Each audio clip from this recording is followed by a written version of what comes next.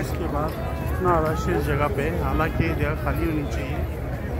ये रश इसलिए कि ये रियाज जन्ना में ना, ये जो रसूल वसल्लम की रोज़ा मुबारक में उधर लोग जा रहे हैं ना, अपॉइंटमेंट वाले।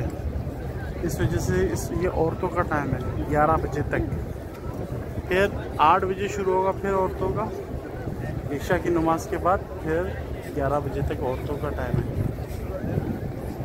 तो इसलिए यहाँ पे इतना रश है ये औरतों का। ये लोग वक्त इंतज़ार कर रही है, ये लोग भागेंगे वो है गुंबद रसूल वाला। इस गुंबद के नीचे रसूल की ज़्यारत है।